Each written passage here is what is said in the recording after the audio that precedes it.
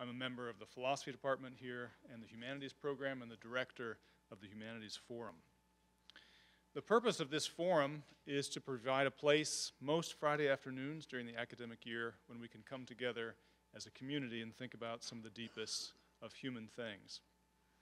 It's meant to provide a space, hopefully, where people from across campus can come together and consider these things as a community. The forum is also integrated as much as it can be with the timeline of the DWC program. I expect that some of you in the room uh, are thinking about the French Revolution right now, for example, which is fitting uh, given today's topic.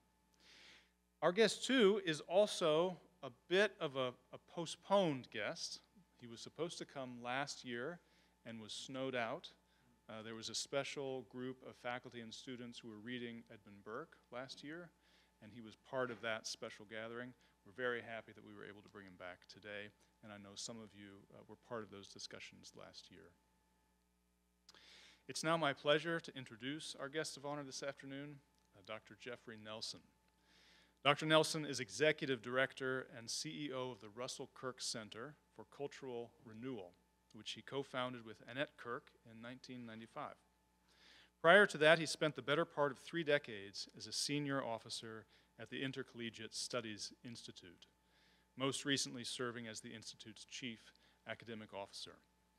He holds a BA from the University of Detroit, an MA from Yale University Divinity School, and a PhD in American history from the University of Edinburgh in Scotland. For 10 years, he edited the Intercollegiate Review, the University Bookman, and was founding editor and publisher of ISI Books. In connection with this, by the way, there was for many years a tradition uh, that anyone who visited ISI's headquarters in Delaware would receive a tour of the building, and uh, after the, at the end of the tour, they'd be told, well, you can take as many books away with you as you can carry. Only one trip, as I recall, to the car. Uh, I mentioned that to all of you as maybe an inspiration for some of you to take a trip down there and see if it's still the case. Dr. Nelson was also president of the Thomas More College of Liberal Arts. He's treasurer of the Edmund Burke Society of America and editorial advisor to its journal, Studies in Edmund Burke and His Time. He's the editor or co editor of several books, including Redeeming the Time by Russell Kirk, American Conservatism and Encyclopedia, The Political Principles of Robert Taft by Russell Kirk and James McClellan, Perfect Sowing by Henry Regnery, and Remembered Past by John Lukacs. Let me also add that a great part of Dr. Nelson's academic vocation has been to promote intellectual friendship on college campuses and across the academy. It's been my privilege to participate in many of those events over the year, and Jeff, let me take uh, this moment to thank you for that tremendous work and for being such a gracious model uh, to so many of us, myself included, who likewise seek the blessings of genuine intellectual community. His title this afternoon, adjusted just slightly from our advertisements, is Edmund Burke and the Making of an Anti-Revolutionary Mind. Please join me in welcoming to the podium Dr. Jeff Nelson.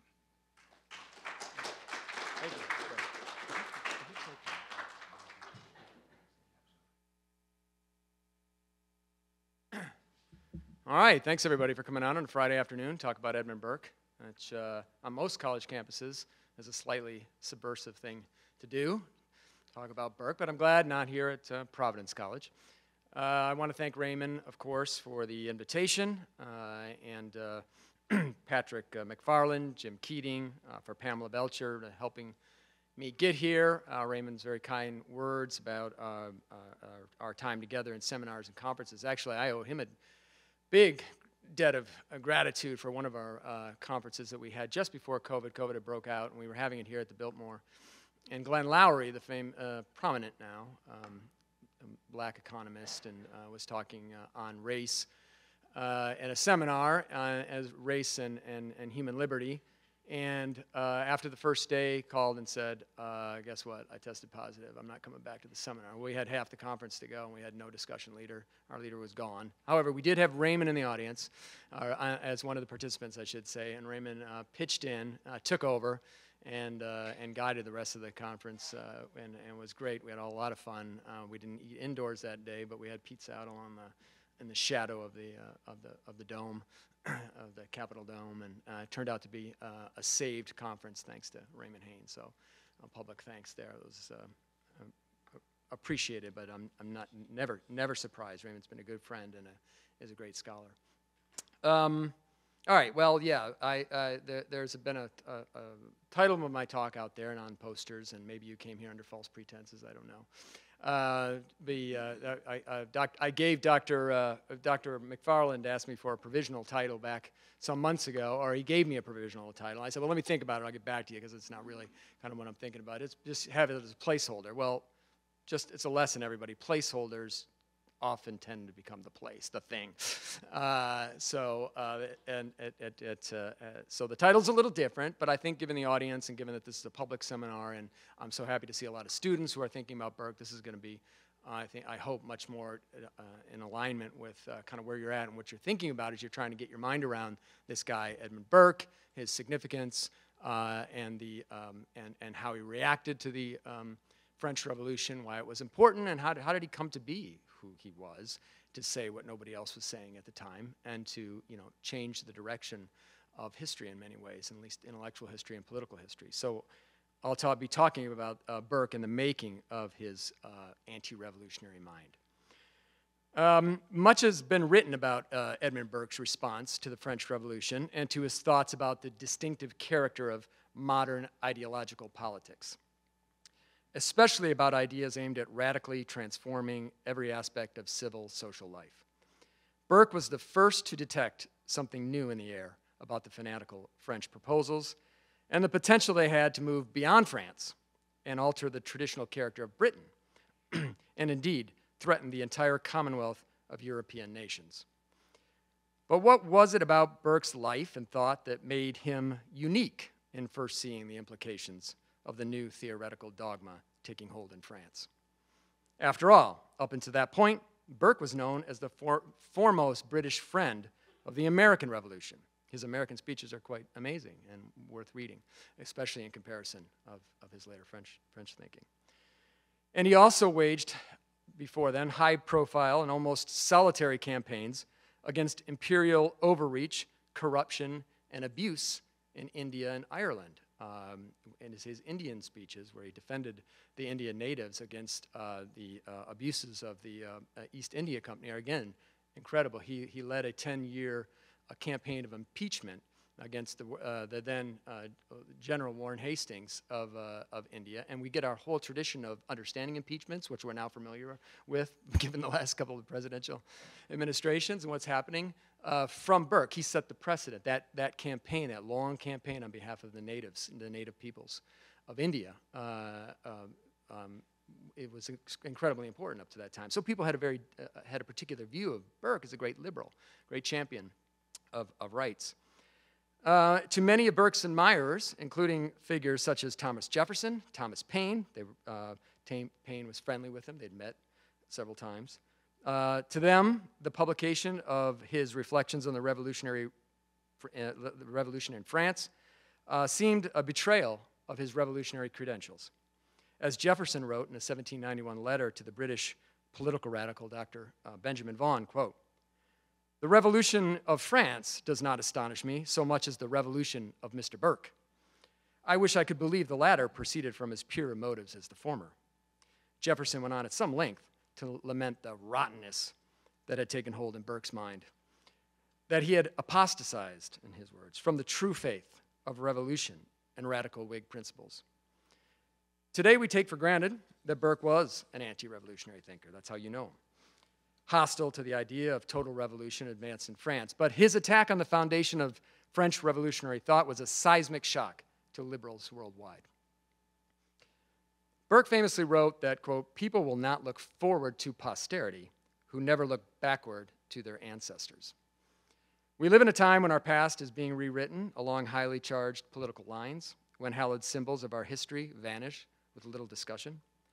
This makes our reading Burke today seem not that distant from the French Jacobins who haunted his thoughts and occasioned his anti revolutionary writings. Intemperate minds, left and right, have in every time since the French Revolution sought to re- remake man and society, and today is no different. We see it before our eyes in town squares, corporate boardrooms, classrooms and curricula, church pulpits, and of course, the political arena and its media and entertainment amplifiers. Burke accurately per- perceived and predicted the nature of the then new radical ideology. It is often said he was a philosopher in action. It might also be said he was a historian in action, or better, a philosophical historian in action, applying lessons of the past to the great crises and debates of his age in Britain, America, Ireland, India, and France. His writings were infused with such a profound understanding of history and the human condition that they are considered a permanent manual of political wisdom. In what follows, I will explore with you some select dimensions of Burke's anti revolutionary mind, putting forward some themes and beliefs of his that emerge from the circumstances of his biography and his times. I'm a historian, not a political philosopher or a theorist, uh, so you'll have to bear with me on that point. I hope, however, uh, that um, my approach honors Burke's own. His ideas have never been merely of antiquarian interest, and so I hope that you will also come to better appreciate the relevancy, even the imperative, of reading Burke. All right, I have eight sections, uh, so you'll know as I get closer to 8 you're, you're, you're, you're almost done. Section one Ireland's role in, fa- in fashioning Burke's anti revolutionary mind. Ireland.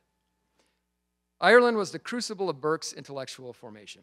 As such, a brief overview of Burke's early experiences can shed light on his lifelong aversion to radical revolutionary thought. Burke scholar Thomas Copeland once remarked that Edmund Burke, quote, always marched at the head of a clan. Burke's clan, his extended family, occupied a dominant position among the elite Catholic gentry of North County Cork. Burke was thus raised in two Irelands the Ireland of County Cork and the Ireland of Dublin, the capital city. The Ireland of County Cork was the disenfranchised, Gaelic, Catholic, rural, majority Ireland. The Ireland of Dublin was the ruling, English, Protestant, urban, minority Ireland. Young Burke belonged to both, an obvious source of tension. He was born in Dublin, 12 January 1730. However, he passed his formative years principally among his mother's relatives, the Nagles, and was exposed to their Catholic gentry and Gaelic culture during the high tide of Ireland's anti Catholic penal laws. Few Irish Catholics were immune from the force of this oppressive legislation. However, inconsistently it was enforced and Burke's family was no exception. Like many Catholics with, with aspirations, it seems that Burke's father, Richard, conformed to the Church of Ireland in 1722. Families then often selected members to conform to the established Irish Church. For Richard, such a strategic conversion was likely made to ensure uh, success of his professional aspirations as an attorney, and importantly, to secure legally his and his family's property, both on the Catholic and Protestant side, and to provide the opportunity of advancement for his young sons. Consequently, Edmund and his brother were reared Protestant. Burke's mother, on the contrary, remained a Catholic, and according to the custom of the day, so did his sister, Julia. Throughout his life, Burke was closest to his mother's extended family, the Nagles, with whom he lived as a young boy in Ballyduff, County Cork. By contrast, Dublin in the 1730s was an unhealthy and smoke clogged place. The pleasant environment of the city, and in the unpleasant environment of the city, and in particular, Burke's house on Arran Quay, which faced the Liffey River, goes right through Dublin. It was damp and it was cold. And uh, Mary Burke, uh, it gave Mary Burke, his mother, a chance to send her son to the land of her, her youth. Burke spent the formative years of age 6 to 12 uh, principally with his Nagle kin in the, in the valley of the river Blackwater, which meandered in the shadow of a mountain range named for his Nagle relatives. For Burke, Ballyduff, and the Blackwater Valley offered a healthier environment, both physically and spiritually. These were places of rest and rejuvenation, of fresh air and water, of, com- uh, of conversation, and conviviality, of friend and family, of hearth and history. Edmund Spenser, a relative on Burke's mother's side, lived there. Burke and his cousins would play about the ruins of Spenser's Kilcolman Castle at the foot of the Nagle Mountains, where he wrote The Faerie Queene.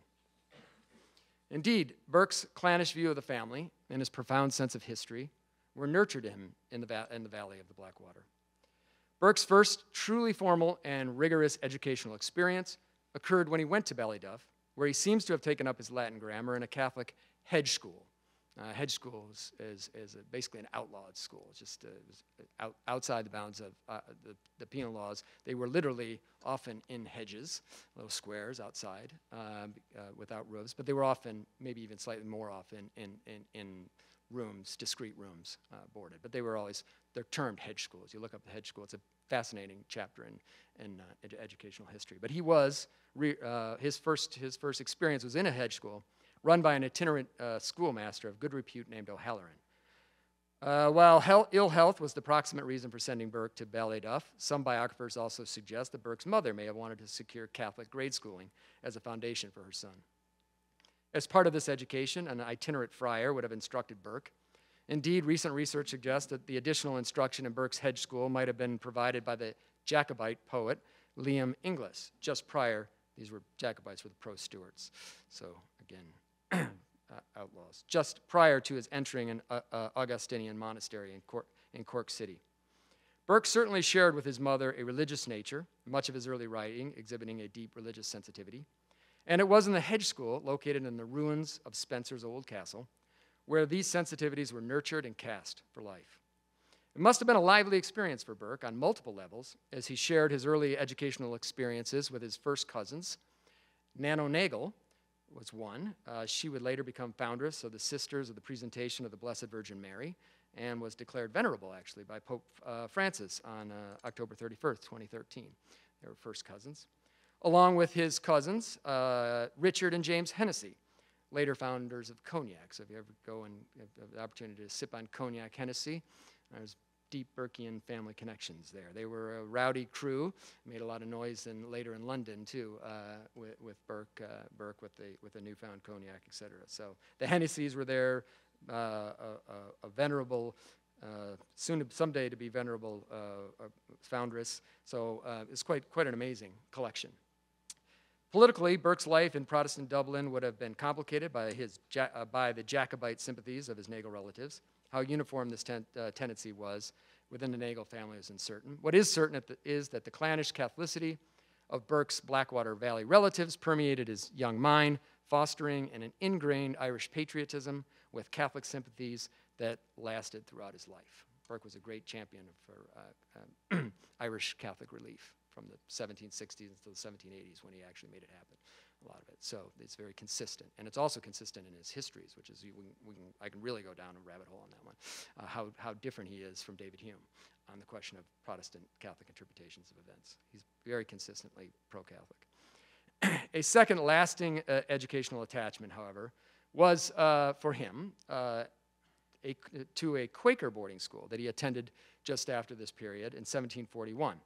In addition to the Catholic problem in Ireland, there existed a large pro- uh, population of Protestant dissenters who sided with the established church when Catholics were the objects of discrimination, but who bitterly resented their own social exclusion and limited toleration by that same Protestant establishment. The dissenting Quakers to whom Burke became so attached shared, shared a common experience with his Nagle relatives, which made this transition easier and the bonds formed stronger. The Quaker run school at Ballitore in County, Kild- County Kildare, some 30 miles southwest of Dublin, was set again in a serene and idyllic county. The academic atm- atmosphere was serious and benefited from an ecumenical collection of students from well born families. Its founder and guiding light, Abraham Shackleton, was a self taught Latinist who had come to Ireland from Yorkshire as an educational missionary. Initially a family tutor, he founded his academy at Ballitore 15 years be- prior to Burke's admission. The curriculum is rigorous, religious, and classically humanist. The Bible and Latin were the centerpieces, and it was left to Shackleton's discretion which of the heathen authors uh, he deems suitable for study. Burke's uh, later oratory, uh, uh writings, and politics are, are, in fact, manifestations of an Anglo Irish religious humanism that was forged in him from this time. At an early age, Burke inherited the classical, medieval, and Renaissance humanists he read Isocrates, Demosthenes, Cicero, More, Erasmus, Bacon, long list of names that you and you in this program would be familiar with. And, and uh, to an explicit commitment to the artis liberalis or studia humanitatis tradition. with its emphasis on human refinement, moral instruction of the good citizen, and ultimately the cultivation of intelligence, conscience, and grace. Burke's politics were to be fundamentally literary, as we'll see, poetical, moral, and historical. Through his mastery of various disciplines, he came to appreciate that there are other modes of knowledge, at least as instructive as reason. The humanism which Burke discovered and made his own at Shackleton School and afterward at Trinity College in Dublin was characterized by the belief that art, writing, and speaking, aesthetics, which we'll talk about in a minute, and rhetoric, had a social and moral dimension or responsibility. The contention that rhetoric and philosophy must not be separated, the conviction that an individual had a duty to serve the public good, and the understanding that there must exist always a balance between the theoretical and the practical aspects of what the ancients called wisdom and the Enlightenment preferred to call reason. Humanists were rhetoricians first. they believed in the ongoing power of words and ideas, and they saw in deliberation and debate a better means than coercion to resolve conflict. If they were contemplative, they were also active. Such was Edmund Burke. Burke returned to Dublin and entered Trinity, Trinity College uh, at 14 April 1744. After all these experiences I just mentioned, barely more than 14 years old, entering college.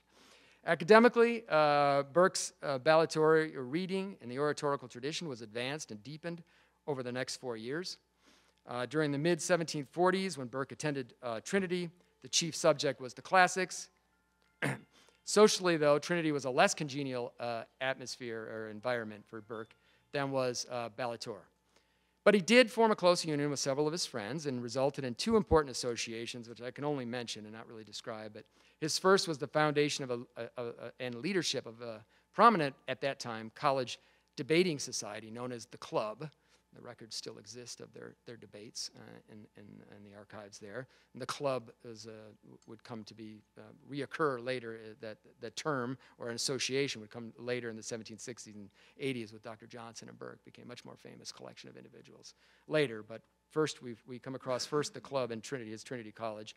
And second, his role in publishing a co college newspaper suggestively titled The Reformer.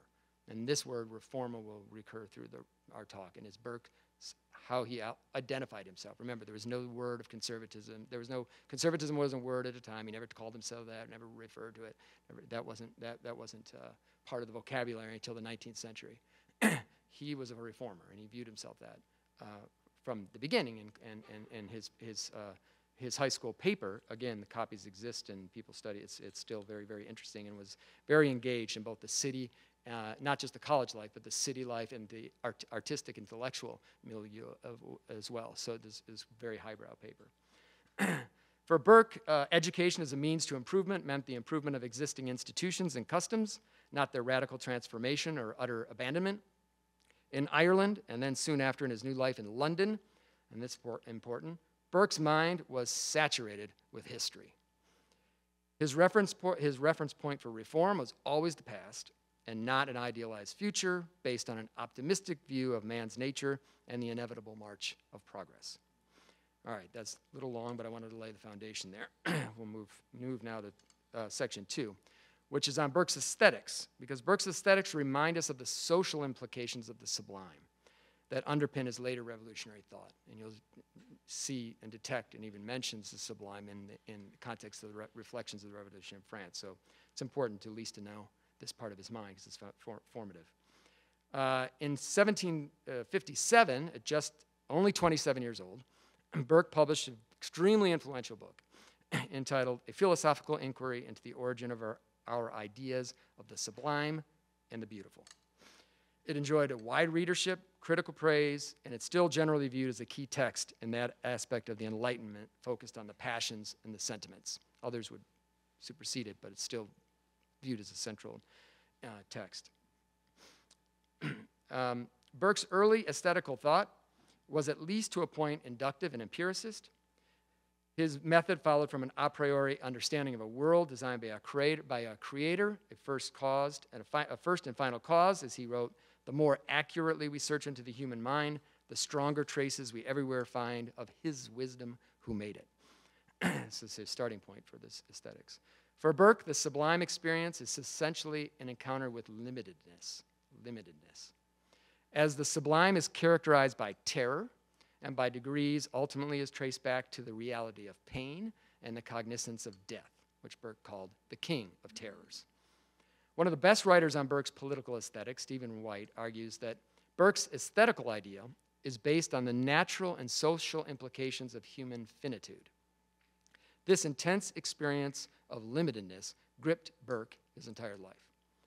Of the ideas capable of making, powerful, uh, making a powerful impression on the mind, Burke re reduced them to two categories. The first was self preservation and, associated, and associated with the sensation of pain or danger. Ideas of sickness, pain, death, quote, fill the mind with strong emotions of horror. Health and life give us pleasure, but are not as powerful emotions in the self preservation of individuals.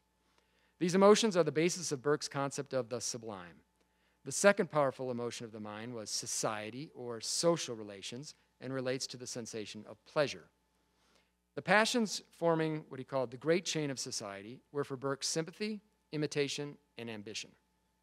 Sympathy, which, which will reoccur, is a sort of substitution, he, he wrote, quote, by which we are put into the place of another man and affected in many respects as he is affected. The passions may turn upon ideas of self preservation or pain and be a source of the sublime, or it may turn upon the social affections and be a source of pleasure, and, and thus the beautiful. It is through sympathy that poetry, painting, and other affecting arts, this is Burke, transfuse, transfuse their passions from one breast to another and are often capable of grafting a delight on wretchedness, misery, and death itself.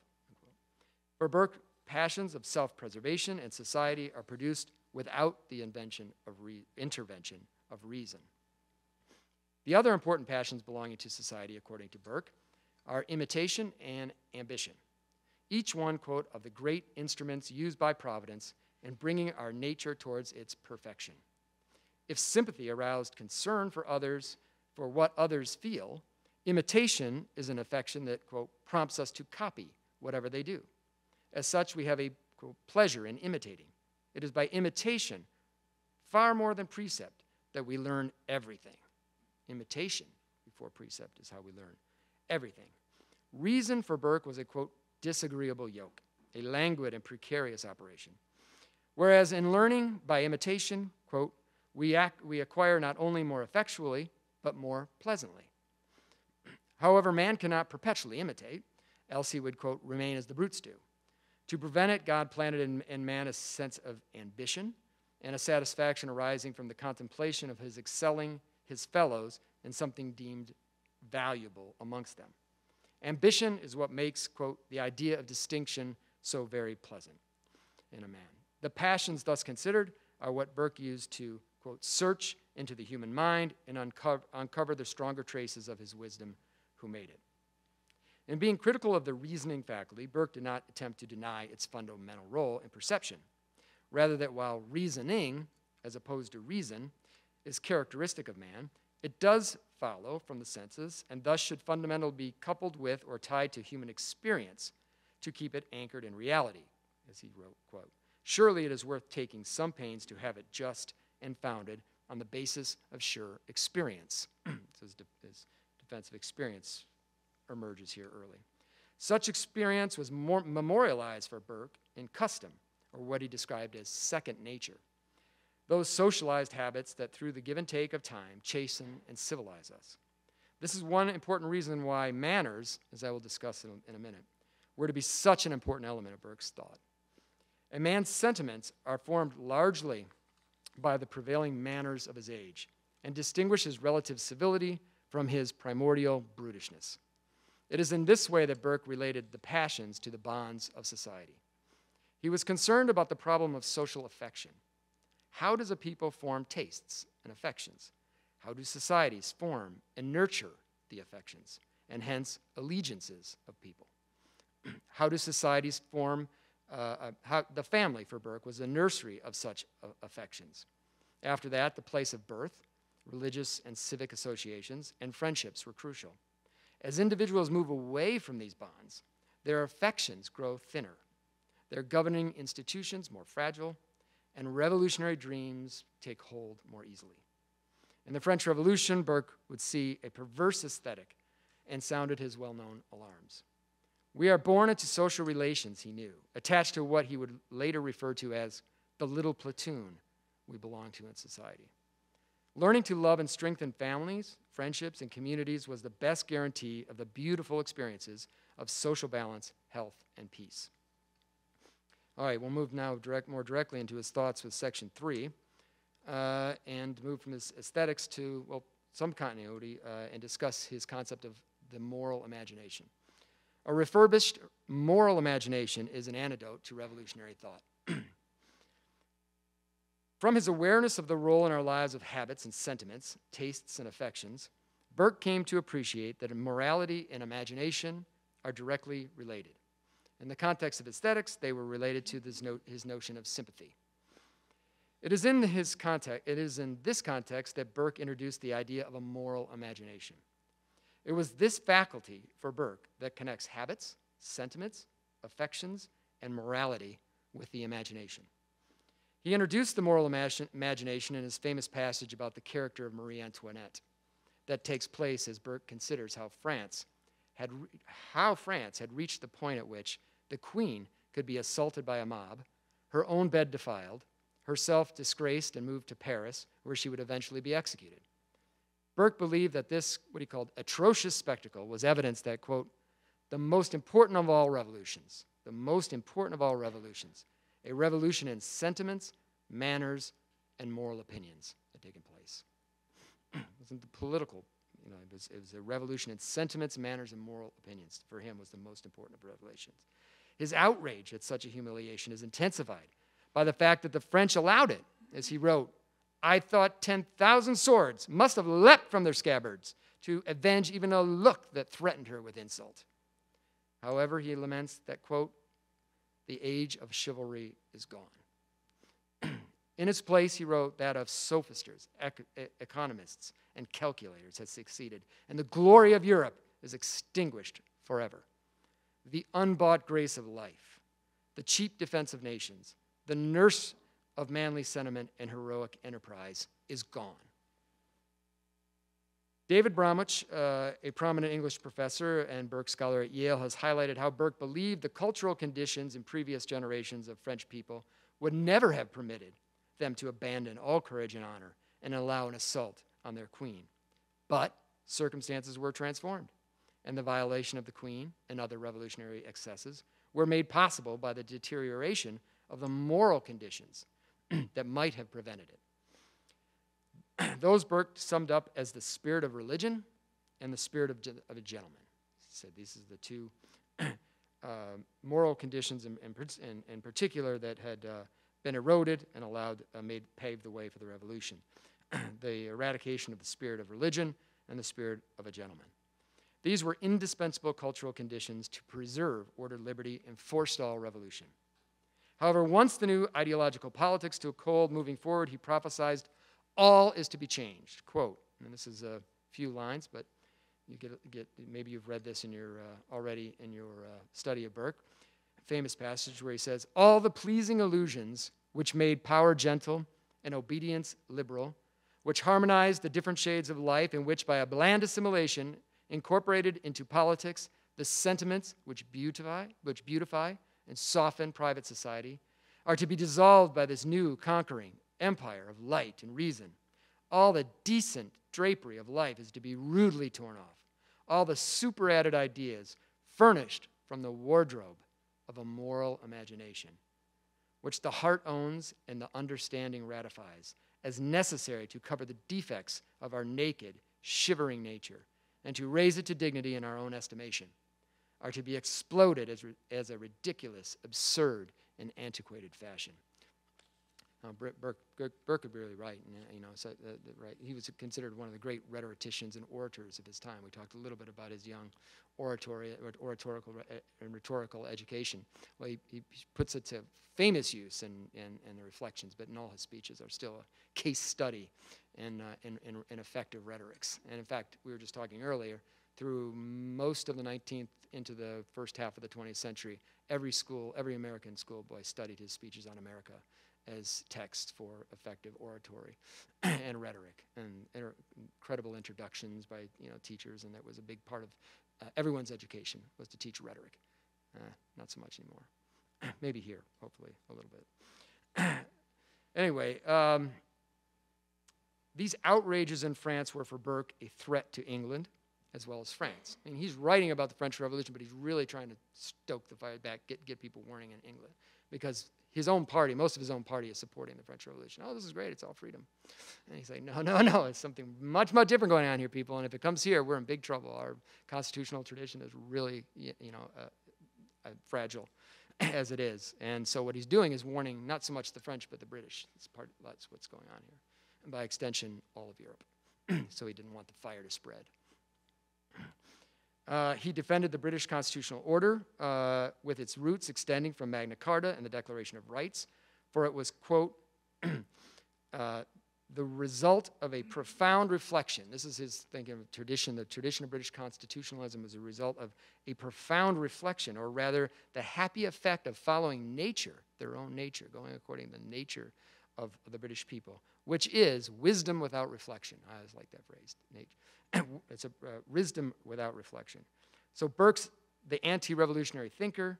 This habitual, customary process, wisdom without reflection, is the ideal in a healthy culture. You don't have to think about it, right? It's wisdom is all is there, but it's you know you, it's without reflection. It's a body of all our forebears, all the, the, the, blood, sweat, and tears, and, the, and all the debates and, and haggling and whatever that's sort of led to the making of the Constitution, just like our own constitutional tradition. Uh, it's, it's, it's kind of wisdom without reflection. So you got to take this, you'll be careful here where how we tread. so now he's working himself up, and a lot, a lot of us with him. um, for Burke, the uh, anti revolutionary thinker, this habitual, customary process is the idea of a healthy, functioning culture. Thinkers in the line of Burke have sought to harness the power of the imagination for moral ends.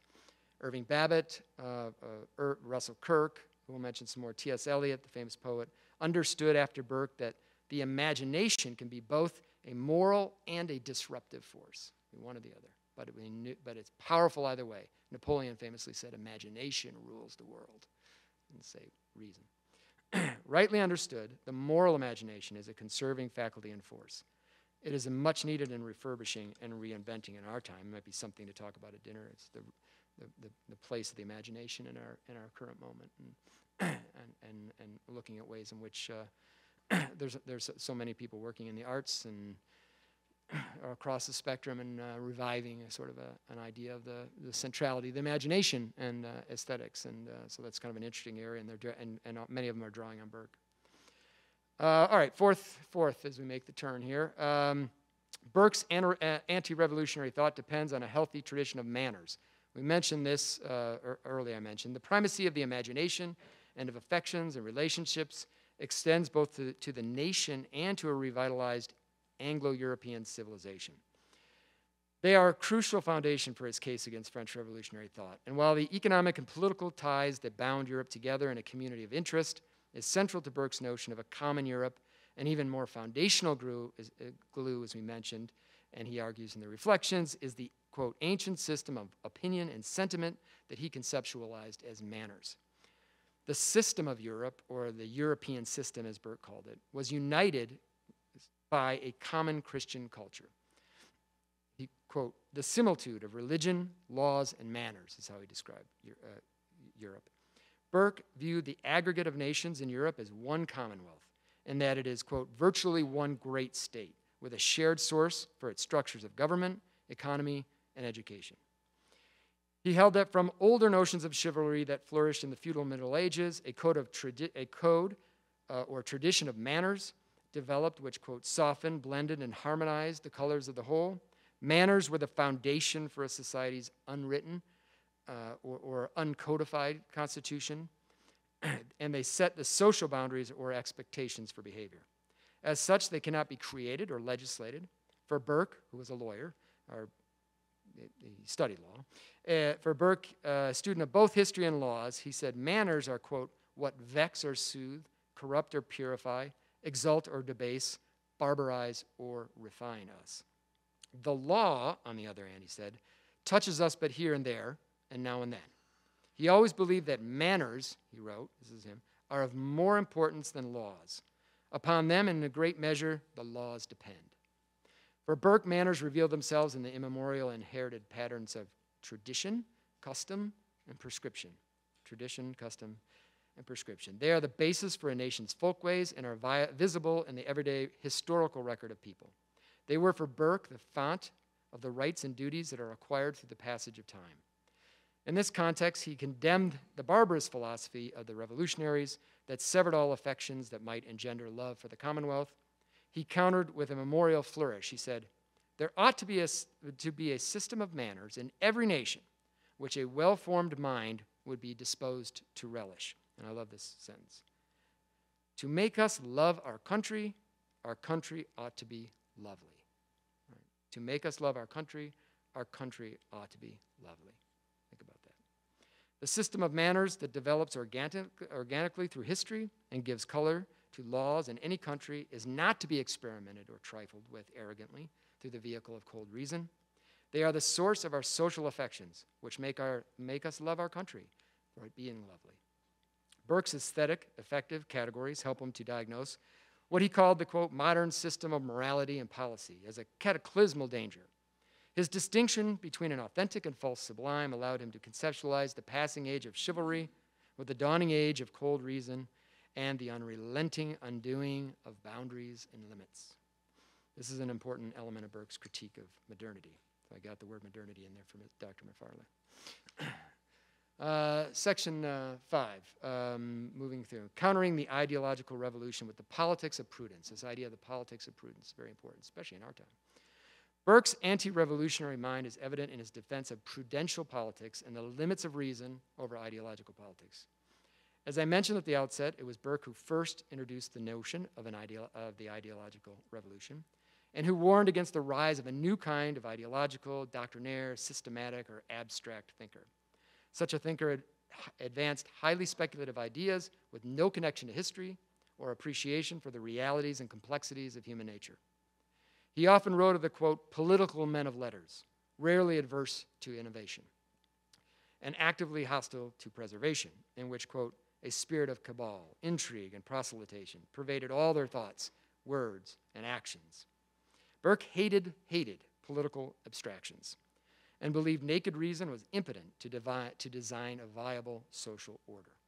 Tradition or accumulated social experience was a better guide than reason. Still, as Daniel Mahoney uh, argued, uh, the quote, the abstract theorizing of the French revolutionaries and its intellectual boosters that Burke excoriated should not be confused with any contempt for truth or enduring moral principles on his part. Burke is the furthest thing from a relativist or a historicist who denies unchanging truths. In his, in his speeches against uh, Warren Hastings, then Governor General of India, and the corruption of British imperial politics in India, Mahoney points to Burke's criticisms of what he called geographical, geographical morality, insisting rather that, quote, the laws of morality are the same everywhere. For Burke, then, the ideologue or political ra- ra- rationalist denies all this. He is one who, in the words of uh, the conservative thinker Russell Kirk, quote, uh, thinks of politics as a revolutionary instrument for transforming society and even transforming human nature, which is uh, now the cutting edge we've come to. in his march toward utopia, the ideologue is merciless. We are used to thinking that ideology is just a benign word for someone's worldview. Hey, he's got, it's just his ideology ideology, very whatever. Uh, whereas words like prudence or moderation are disparaged. Burke himself recognized this happening in the Reflections, even when he wrote that as the re- revolution advanced, quote, moderation will be stigmatized as the virtue of cowards, and compromise as the prudence of traitors. so true. Far from benign, however, Burke called ideology an armed doctrine, really because in the end, it was the guillotine, or in the killing fields, a, a gun in your head, or dragged off to the gulag in the last century, the gas chambers. An armed doctrine. The modern ideologue ushered in the era of utopian schemes and political fanaticism. Through the most horrific violence, they have sought to refashion every facet of human life on the basis of their theoretical, theoretical models and reasoning. Quote, ideology, in short, is a political formula that promises mankind an earthly paradise, Kirk noted. But in cruel fact, what ideology has created is a series of terrestrial hells. It does so because it is an inverted religion, and this is an important point. Burke saw this. Most anti-ideological thinkers see that see that the new ideological thinking is essentially a, a, new, a false religion, an inverted religion, and it makes political compromise impossible. And it promulgates a version of absolute truth that is much more absolute than true. Ideologues accept no deviation from fidelity to their creeds, and so they war mercilessly and endlessly upon one another to enforce it. The terrible revolutionary movements of the 20th century give grim evidence of the ongoing deadly allure of, of revolutionary and authoritarian movements, and authoritarian movements, authoritarian movements are on the rise again in, our, in just in the last five, six years. They're beginning to rage. So this is all becoming not mere exercise of contemporary history, which I know for a lot of people is may as well been, you know, the Cold War for a lot of people now is may as well been the Peloponnesian War. Our memories are so short, but it's coming back very quickly. and we see something of that ideological intensity in our cities, on our campuses, and in our curricula these days. Burke warns us of it. He says in the Reflections that as the science of government is practical and intended for such practical purposes, it requires experience, and even more experience than any person can gain in his whole life. It is thus, quote, with infinite caution that any man ought to venture upon pulling down an edifice which has answered in any tolerable degree for ages the common purposes of society. A few uh, later, uh, he, uh, he, a few pages later, he adds, Is it in destroying and pulling down that skill is displayed? In destroying and pulling down, is that how we display our skill? Your mob, he said, can do this as well as at least as least as your assemblies. The shallowest understanding, the rudest hand, is more than equal to that task. Rage and frenzy will pull down more in a half hour than prudent deliberation and foresight can build up in a hundred years. Feels very contemporary. One of the best books written on Burke's politics of prudence is Greg uh, Weiner's book called Old, uh, Old Whigs. In it, he reminds us that prudence is essentially practical wisdom, the capacity to choose the right means for attaining worthy ends. And he explains how prudence, understood in this way, gets a bad rap in our, in our time for being timidity by another name. He argues that, quote, prudence is not caution out of fear, which Burke himself called a false reptile prudence. but rather, Burkean prudence stems from a moral commitment to the limits of reason. Weiner points out that at times prudence requires bold action, sometimes not. But, quote, the key to prudence, he said, is knowing the difference, having the capacity of judgment that can distinguish between the ordinary moments and genuine crisis, and in either case, calibrate actions to proper goals. Moderation, it follows for Weiner and Burke, is anchored, quote, in a moral, moral soil and intellectual humility. That's an important word humility. As well as, quote, an intellectual recognition of the variability of circumstances. It combines principle and judgment and courage. Dan Mahoney again refers to this as tough minded moderation. I like that phrase, tough minded moderation. If we have to qualify moderation for tough minded moderation. Prudence then uh, requires the use of reason, but also humility about its limits. This is increasingly important in our time because, as Weiner points out, American political life emphasizes revolutionary rhetoric more than prudence. It is a time in which all positions are stated in extremes, he said. All conflicts seem ultimate. Every election, a choice between redemption and doom. we, read, we read Burke, quote, to, be, to beware the rhetoric of catastrophe. Good, good reason to read them. Section six is on uh, change. Uh, Burke arguing this is an, a central point to, to, to his discussion. Maybe we'll talk a little bit more about this at dinner. Burke argued that change is inevitable, even desir- desirable, and is pursued through a process of preservative reform. Preservative reform. Burke perceived at the outset that the French Revolution was a total revolution, sweeping away all institutions, beliefs, and traditions that were in its way. It was a crisis not just for all of Europe, but for the West more generally. Quote, all circumstances taken together, he wrote, the French Revolution is the most astonishing thing that has hitherto happened to the world. Burke juxtaposed revolution and reform and argued that genuine salutary change is accomplished by the reformer and not by the revolutionary. As we get back to this idea of Burke self identifying as a reformer. It is important to note here that Burke was a circumstantial thinker, which follows from his politics of prudence. And while he believed in universal first causes and principles, he was first and foremost a particularist. Burke made this point while defending uh, the, a previous revolution, the so called Glorious Revolution of 1688, with um, uh, which ended with the peaceful accession of William of Orange and, uh, and Mary II. He wrote, quote, circumstances, circumstances, quote, which for some gentlemen pass for nothing, given reality to every political principle its distinguishing color and discriminating effect. The circumstances are what render every civil social scheme beneficial or noxious to mankind. Tending to circumstances and particularities lead Burke to develop a theory of social change. He's not some stick in the mud conservative. It's all, all you know. It's all about stasis and preserving the status quo, which is a, a stereotype, uh, a label that uh, most conservatives, and especially Burke, uh, get. He's far, far different and more complicated. Tending to circumstances, then, he develops his theory of short change. While discovering, discussing different periods in British history, the Restoration, Glorious Revolution, principally, he argues, and this is a very important uh, phrase, uh, it's one of his most suggestive phrases, quote, um, a state without the means of some change is without the means of its conservation. Got it? A state without the means of some change is without the means of its conservation. right? So change is qualifying conservation. That, that's key.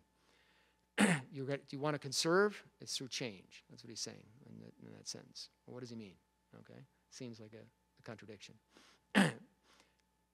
the two principles of conservation then and correction must operate strongly, he thought, if the constitution of a nature was to be preserved, balanced, and functioning. As I mentioned, conservatives are also accused of being defenders of at all costs of the status quo. This is probably true more of like more European rightists than it has been of uh, most American conservatives. American conservatives have been more decidedly Burkean, and this is in no way more manifest than this commitment to reconciling the claims of permanence and change. And this is really a fundamental conservative task. Reconciling, we're always reconciling tensions, tensions, in, in this case between you know between order and liberty, and the, uh, between permanence and change. It's always the tensions where, where, where conservatives are zooming in and trying to, uh, trying to bank. So it's, it's a very subtle, important um, um, uh, approach. Um, American conservatives look to the past for instruction and may have healthy, health, and we obviously have a healthy degree of nostalgia. But fundamentally, uh, they look to the past because they care about the future. There's a kind of dynamism at their core that is often overlooked. to be what he called a quote, honest reformer, to negate ideology, Burke knew was a delicate proposition. As I said, experience and prudence and discrimination were key for a mind capable of holding in balance, reconciling change and progression. Progress in society should proceed from what he called, quote, the principle of reference to antiquity. That's quite a principle, right? The principle of reference to antiquity. The prudent reformer understands that, as he puts it, quote, the idea of inheritance furnishes a sure principle of conservation and a sure principle of transmission without at all excluding, excluding a principle of improvement. Mere innovators generally are the result of self, selfish tem- temper and confined, confined views. Burke, though, develops from this a theory of statesmanship that is something to be wished for in our time, I think, and which is the antithesis of the revolutionary. Listen to Burke describe his uh, ideal statesman. He says, quote, I cannot conceive how any man can have brought himself to that pitch of presumption to consider his country as nothing but carte blanche, upon which he may scribble whatever he pleases. A man full of warm, speculative benevolence may wish his society otherwise than uh, uh, otherwise constituted than he finds it. But a good patriot and a true politician always considers how he shall make the most of the existing materials of his country. Quote, and this is the line a disposition to preserve and an ability to improve, taken together, would be my standard of a statesman. a disposition to preserve with an ability to reform. A disposition, that's an important word, disposition to preserve and, and the practical prudence, practical ability to reform. Oh, Always, this is his idea of the scheme. Everything else is vulgar in the conception, perilous in the execution. now, this concept seems straightforward enough, but how hard is it for statesmen of any age, let alone our own, to meet this Burkean ideal? Reform, reformers and statesmen in this tradition must at once hold what Burke called the bank and capital of the ages. They must hold the bank and capital of the ages before them while harnessing the needs of the time and the power of change. As Yuval Levin put it, quote, the fundamental insight of Burke's positive case for reform is that a statesman ought to begin from gratitude for what works in his society rather than from outrage for what does not work. He must begin from a sense of what he has and what is worth preserving, and from there build towards what he wants and what is worth achieving. But without question, change is not only inevitable, but desirable. And without developing an effective means of change, a nation might, in Burke's words, might even risk the loss of that part of the Constitution which it wished the most religiously to preserve. If you don't have this dynamic, this, this, this view of change we're describing, you might even lose what it is you most sacredly or most passionately want to preserve. This difficult task of preservative improvement is, to Burke's mind, the most demanding and the most important challenge of political life. It certainly is. The remedies for social grievances are the product of a critical and creative engagement with the past that, when brought to bear in the present, is tempered by prudence and a spirit of caution and gradualism so as not to destroy the essential good along with the accidental evil. Burke's reformism thus embraced change and development, but with the reference point being the past, not the future. Unlike such Enlightenment thinkers as Condorcet or Voltaire, who theorized about an ideal future and views, viewed the past and present through the prism of their own time. This presentism is a very powerful mm, thing in our own lives now. We, we, we tend to unthinkingly, I think, be presentists. We judge the past by our own, you know, by our own moment, our own prejudices at the moment. and this is a very, you know, kind of revolutionary thing uh, that Burke uh, rejected. Uh, he, uh, who, the, the Condor, Condorcet and Voltaire, who theorized about an ideal future, viewed the past and present through the prism of their own utopia. Burke rejected change based on abstract theorizing, novelty, and what he called the spirit of innovation. For Burke to preserve, it was necessary to reform. He was, as the historian Ross Hoffman once noted, a reforming conservative rather than a conservative reformer. He wished to reform in order to conserve. In an age of populism, resurgent nationalism, so called post liberalism, progressivism for sure, a revival of this kind of conservatism, I think, is very much needed. All right, we're almost through here. The recogni- uh, la- uh, section seven. The recognition that liberty is never licensed is central to Burke's critique of revolution. This is a, a, big, a big issue uh, for Burke and for us. In his speech uh, at the arrival of Bristol, when, when he was elected a, um, a, a, member of parliament uh, representing Bristol, this is part of his American speeches, while being voted uh, for uh, an MP, Burke said, quote, in his speech, the only liberty I mean is a liberty connected with order, that not only exists along with order and virtue, but which cannot exist at all without them. While detesting abuses of power of any kind, Burke's practical politics theoretically uh, he, uh, he, theoretically, he sought to reconcile the claims of liberty and authority against the rise of individualism to forge what he called ordered liberty. Ordered liberty. This is Burke's phrase. This is a very big phrase amongst Burke, Burkeans conservatives, um, and, and uh, in general, uh, you know, the, the Scottish Enlightenment, uh, this, this view of ordered liberty. The Amer- American, American founders speak a lot of ordered liberty. He knew liberty to be a great good, but it needed the restraint of society in order, uh, in order for it to be salutary. He spoke as often about false freedom as about freedom rightly understood. One example of that occurs somewhat early in the reflections. He speaks of how the idea of freedom has changed with the rise of the revolutionaries. He says, it's a question Is it because liberty, in the abstract, may be classed among the blessings of mankind that I am seriously to felicitate a, highway, a highwayman and a murderer who has broke free from prison upon the recovery of his natural rights? Is this what we mean by liberty? Is this we celebrate this? Liberty for Burke is a blessing, but it's not always a blessing. France, at that time, introduced a new liberty. And when this new liberty was combined with the force of government terror, the undoing of society was the result. In this regard, he argued, quote, the effect of liberty to individuals is that they may do what they please. We ought to see what it will please them to do before we risk congratulations, which may be soon turned into complaints. Before we congratulate them on their freedom, let's see what they do with it. For Burke, liberty and servitude are closely related. Without virtue in the person and in society, liberty devolves first to license and likely then to authoritarian restraint and all the horrors that follow with it. As he wrote, quote, In some people I see great liberty indeed, in many, if not the most, an oppressive, degrading servitude. But what is liberty without wisdom and without virtue? It is the greatest of all possible evils. For it is folly, vice, madness, with, without tuition, without restraint. Those who know what virtu- virtuous liberty is cannot bear to see it disgraced by incapable hands on account of their having high sounding words in, uh, in, in their mouths. And then a little later in the same paragraph, he said, To make a government requires no great prudence. Settle the seat of power, teach obedience, work is done. To give freedom is still more easy. It is not necessary to guide, it only requires letting go the rein.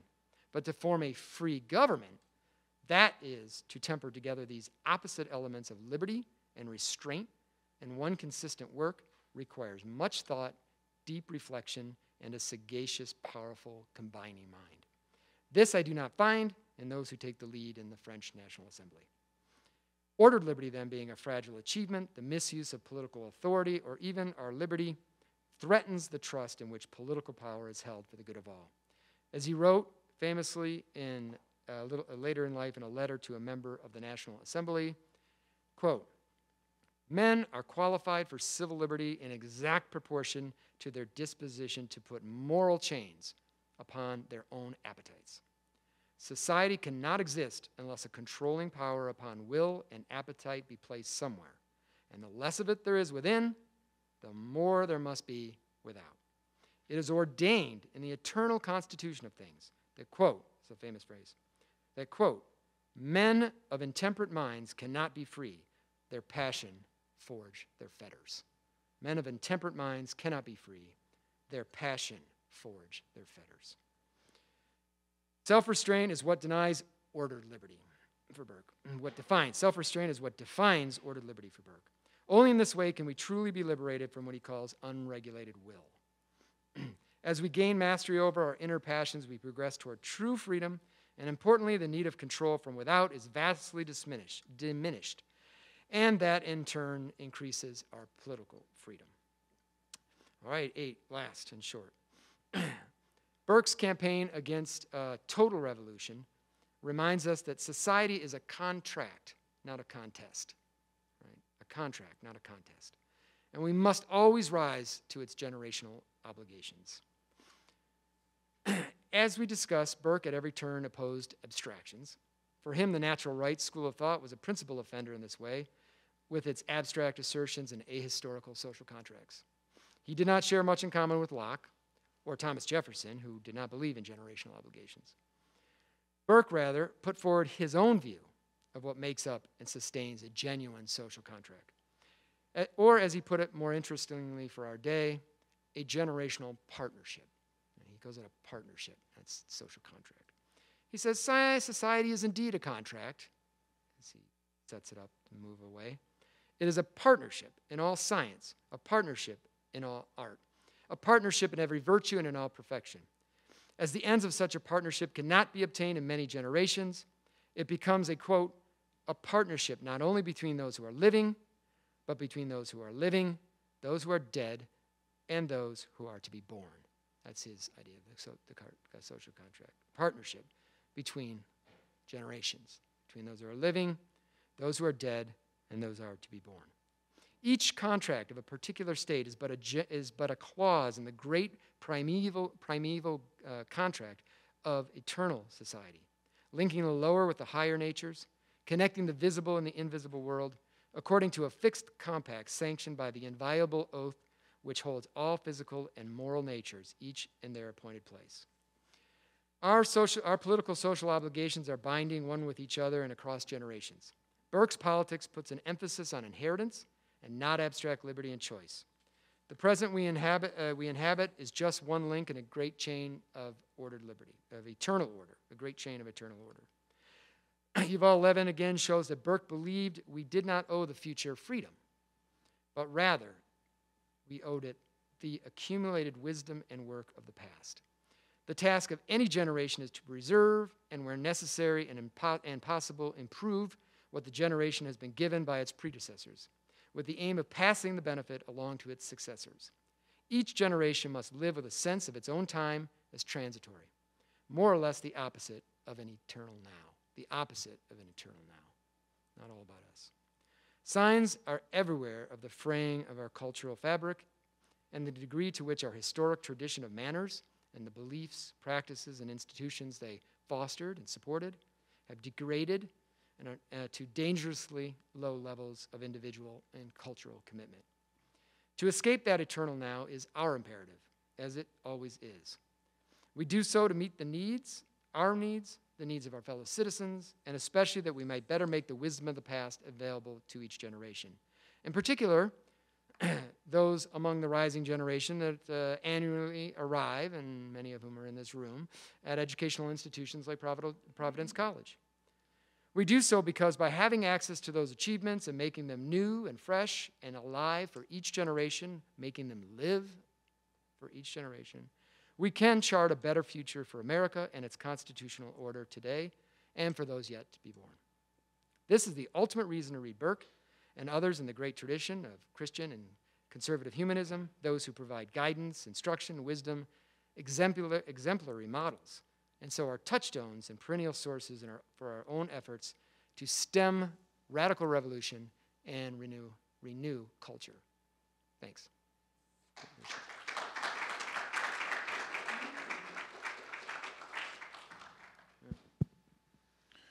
We have about 10 to 15 minutes for discussion, and it's our tradition to offer the first question, if possible, to a student.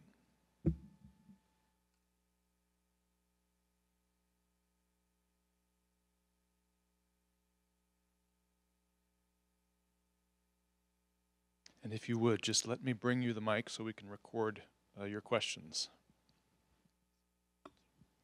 Thank you again for coming to speak with us today. Um, so, I remember at the kind of beginning of your talk that you mentioned a lot about Burke's family life and his uh, Catholic education. Um, what in particular about his Catholic education, maybe like his Thomistic and Augustinian education, do you think influenced his um, political philosophy, just overall outlook? Well, those were the. Um, I think they, they basically it was a formation because it was he was six to twelve when he was in the hedge school, right in that period of time. So you know how that that is. Those were basically uh, pre- preparation for higher studies uh, in his Quaker, you know, uh, school where, where he was first really introduced to the classics. Um, but yeah, I mean, their their their their readings then uh, at that time were pretty, you know, they were diff- different than ours. But there was a lot of poetry.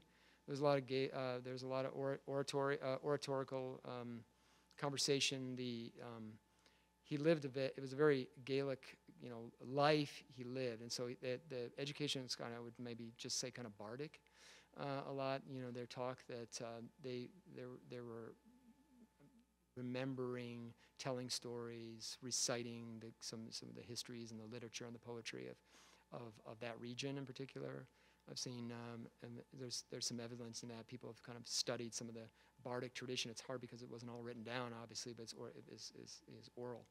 So the bards spoke, um, and that, that tradition was very alive. It got attenuated in the late 18th century and into the 19th century, where he started to write things down more and you know sort of more the, the kind of schooling that we were, were more familiar with. Um, whereas that time, you know, for him in that area he read, so it, uh, so for him, I think it's it's so he he always had he spoke. You can tell by the pas- passages you read and write. He's he has this incredible flourish in style, and I think a lot of that it, it comes from just being around really kind of um, you know amazing reciters of you know learning. Uh, I, they did they, they, they did study they did the itinerant study they did study uh, the, a number of the saints, the lives of the saints, things like that. I've, I've seen, um, but a lot of it was reading, writing, and memorizing. so he was really memorizing a lot and hearing a lot, and it comes across when you write. He writes with such great flourish. I mean, he's one of the great stylists. You can read Burke and just yeah, there's all the political wisdom, in but it, but it's also one of the, he's he's considered one of the great. He's considered. I consider him. I'm not the o- alone. I mean, you know, th- think of him sort of like the Shakespeare of politics. You know, he's just gorgeous writer. You, once you get in involved, I mean, you may have to get used to because we're not used to those long florid sentences, in a sense. But but you can hear that. You know, you can hear that way that the, that, that the Irish maybe you know kind of kind of spoke to one another and, and thought. Um, so I think I think that's that's a big part. He never lost his talking with Raymond, he never lost his strong Irish brogue. You think he would have? Uh, he could have easily, um, like a lot of Southerners, when they come uh, north in, in America, they they get rid of that. They flatten out their accent so they can seem more like with the mainstream culture. It would have behooved him to do that because they made fun because being a, being an Irishman in England was always a uh, you know kind of underdog proposition. You're always kind of viewed as kind of a hayseed, you know, kind of this guy from the country. Not that you know, not not serious and kind of a hick and uh, and, uh, and and Americans were viewed that way too, uh, and, and colonists were viewed that way. So uh, from the British, so so that's that's something I think uh, it's kind of uh, the interesting that he might have had incentive to you know make his way in, in society to kind of soften his brogue. He didn't, he and he had a very very distinctive accent still. So his Irishness, I think, yeah, I think I think you know the usual schoolboy you know things at that time, reading general reading and writing and, and reading uh, the lives of the saints and other class.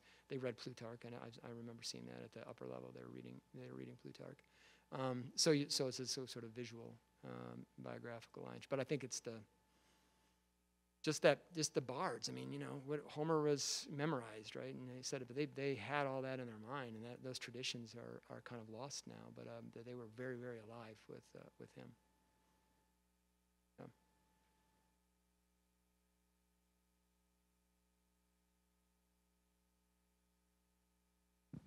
Uh, thank you. That was that was a great summary of Burke. Um, you know, when we think of Burke, we can't help but think of know the revolution and his reaction to the revolution in France. Okay, that's obvious. Um, the other side of it, and I think most people paying attention to the news, um, when when Queen Elizabeth II dies. If you paid attention at all, you saw a tremendous outpouring of, of sadness in the British population. You know, you got some people who didn't, but the vast, vast majority who did. And there's a way in which it's pretty obvious that they were not mourning the fact that she died only, right? She was 95 years old or something like that. She was going to die for some time or other. But rather the sense that with her passing, something was dying as well, something important to England. And I think part of the reaction would have had to be explained by the notion that they may never get it back.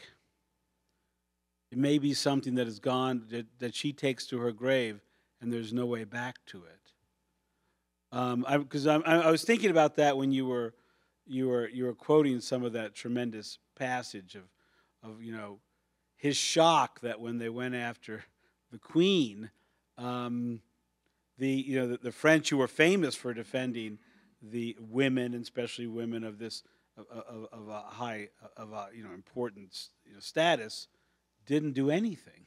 In fact, rather they celebrated, uh, at least some celebrated her decapitation in, in the in, in, you know, in the public square. So I don't know. I- the maybe you can you can react to that. This notion that, um, which you would think in 2022 wouldn't exist, but it obviously did exist or does exist. That something is lost, you know, with something even as as strange and peculiar as the English monarchy. Well, I think it's also uh, it's obviously part of the. What, what's the first thing they say when the queen dies? Yeah, I mean, it's continuity.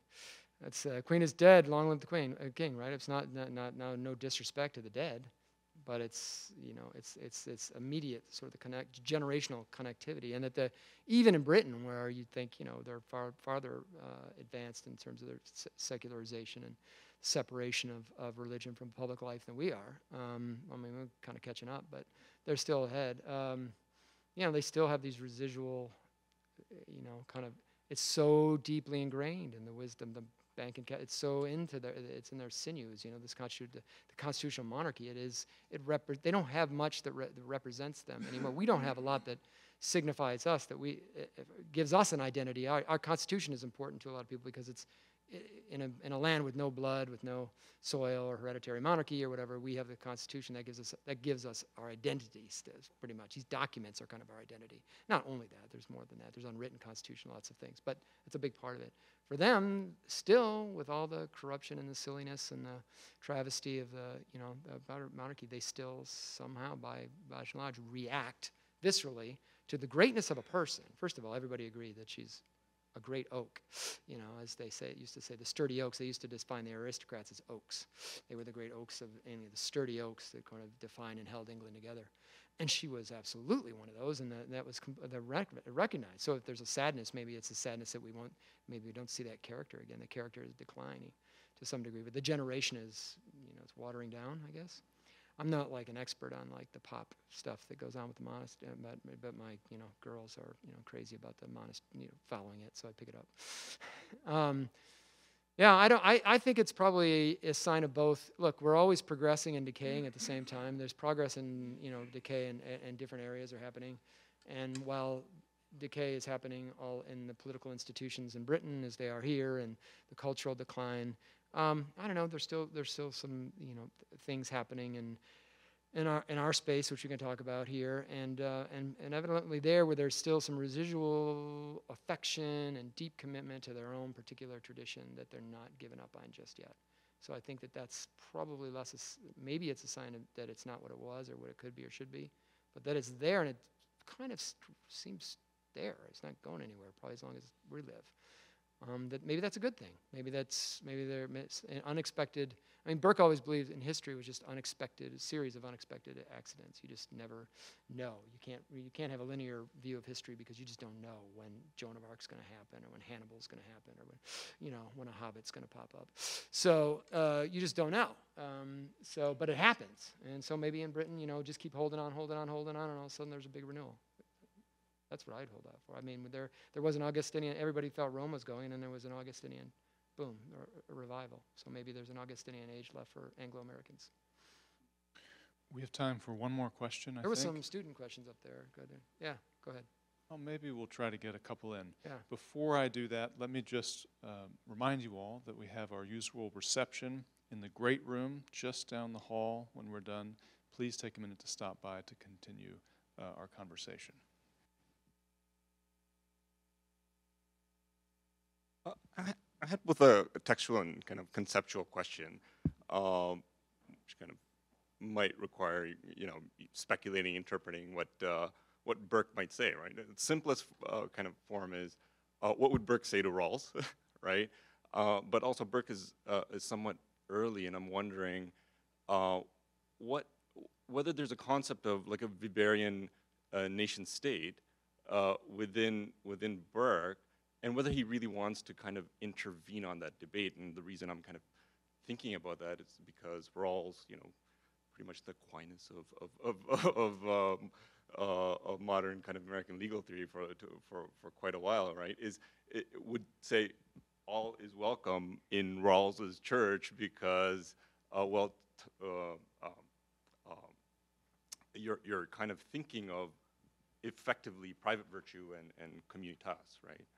Uh, and so within my kind of view of of like the, the veil of ignorance and so on, this is completely compatible. Your your views. Well, are you, you know more about that than I do. I'm not a, a Rawls guy. I mean, I had I, back when college, I had a little section of them in a cl- in a class, so I, I can't I vaguely, you know. Yeah. But I but I yeah, mean I, yeah. the abstraction, the abstracting of abstractions of st- uh, nature of his thinking, drawing, I think would drive Burke to hit the abstractions would drive him to distraction. I think, I think, yeah, that, I don't think he would, you know, I, I, I think it would take him, oh, you know, a step or two to get to his kind of liberalism and what he's offering versus what Burke is maybe thinking. Um, but I think, I think they're two very di- wildly different thinkers, right? So maybe not.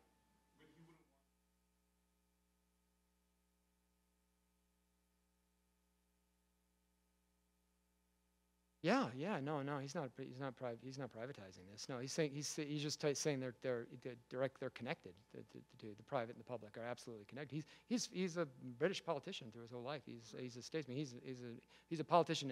There's not that many politicians. Maybe you guys can figure this out as one of your actions in your game. How many, how many politicians, real active politicians, you know, are, uh, you know, kind of still read and at, at, at, in a canonical level. Oh, there's some that have like little track. I mean, I could think of a couple here and there, and not exactly the same way that Burke, but you might think of a couple, but not many. and there's old, there's an old saying that uh, there's nothing deader than dead politics. You know, we think all this, uh, so much is dead, all this stuff is so great and it's so perennial, it's so, but it passes so fast and it's it becomes so stale and it's so antique and nobody pays. It's gone. It's, so it's fly of summer, as Burke would say. So, um, so Burke is exceptional for being a lifelong pol- party politician, mainly in a, uh, opposition, um, and uh, who is who wrote, who's considered a canonical political thinker. His aesthetic, his, his aesthetics are studied. His speeches are studied for rhetorical, you know, uh, education. I mean, he's just it's, it's, it's pretty incredible. He's pretty almost almost almost unique. Absolutely, Locke had a tiny little uh, position in government, but it wasn't anything significant. You could say that maybe Churchill wrote some histories and stuff, but they're not. I mean, they're not uh, nowhere near the. They're interesting, but they're not anywhere near the level of, of Burke's writing, who's considered, you know, on, on the in the, in the canon. So I don't know. I, I think that's pretty pretty interesting. Um, I just wanted to ask. Um, you said that Burke was educated at Trinity College in Dublin, and that he was like well versed with like Latin, and you know, just like he, he believed that manners were like the um, foundation of society. So, do you think he was so anti-revolutionary because most revolutionary causes were for people who are lower in society and not as well versed and possibly like edu- and educated as uh, Burke was? Well, almost the opposite is true. He was his lifelong defender of, of the downtrodden, the oppressed, the lower classes. I mentioned India. The Indians were brutalized, savaged by the East India Company and Warren Hastings. It's really ugly. He was a one-man band on the entire, and the only man alone. Everybody thought he was crazy. Would destroy his reputation. It did destroy his reputation. Ten years he chased after Warren Hastings, who was a war criminal, basically. And he was, what was he doing? He was at the height of British society. He was most, one of the most respected men in British society. And all these little nabobs and innocent Indian, uh, in, in, in, uh, Indians were being wiped out. Uh, and it was only Burke who came to their defense, say, this is an injustice, this is a violation of nature, this is arbitrary will, it is worse. He went to war for them. Uh, Irish, it was the 90, his Catholic relatives, they were 80% to 90% of cat were Catholic. They lived in dunghills, you know, dunghill, you know.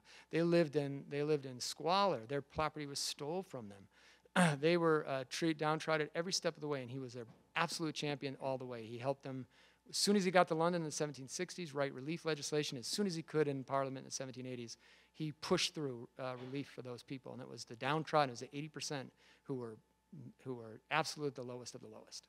Even in American in the American colonies, he defended a, a lot of the, of the lower classes. He wasn't defending um, Ben Franklin's life, although he's friends with Franklin actually there, or whatever. I mean, he was there. There's lots of evidence in his speeches where he talks about Native American. Oh, he wrote a, an account of the European settlements in America with his uh, kinsman uh, named Will Burke, no relation, um, in the 17 uh, late 1790s. It's really quite something. Where he spends a great amount of time talking about, I guess, Mare Indians, Natives people, complete defense of the Natives people against the Europeans slaughters. Um, he he uh, he takes in his histories. He wrote an abridgment of European uh, of of, uh, of history. David Hume had written a, a, famous history of England. Burke thought he'd make his way and write one too, and he did. He wrote a beautiful one. By by it never got published for a variety of reasons, um, but uh, early on. But it should have. Lord Acton thought it was one of the best things ever written in history. But all its its historical episodes he defends one after another. Burke was the greatest defender of the downtrodden, the oppressed. He hated, if there was anything to define Burke's life, it was a hatred of arbitrary power. Uh, were brutalizing the innocent. Um, that's not what the French Revolution thing was about. He was, in, in fact, the French Revolutionaries were wiping out. I mean, look at the, in, in any of the regions where the French were wiping out. What were they? Who were they wiping out? They were wiping out uh, Catholic peasants, village after village after village. He was horrified. He wasn't just defending the queen because you know he was uh, just up there defending privileged guys or women. Um, it was he was he was outraged at every step of the way, whether it was Ireland, India, France, and even to some degree America. Well, it was America if you take into account his early writings on the Indians. so I'm not trying to push back on you, although I'm just I want to clarify that so you don't walk away with that view because actually Burke's more be more maybe your kind of guy than you think. Thank you all so much for joining us this afternoon, and please join me in thanking our speaker.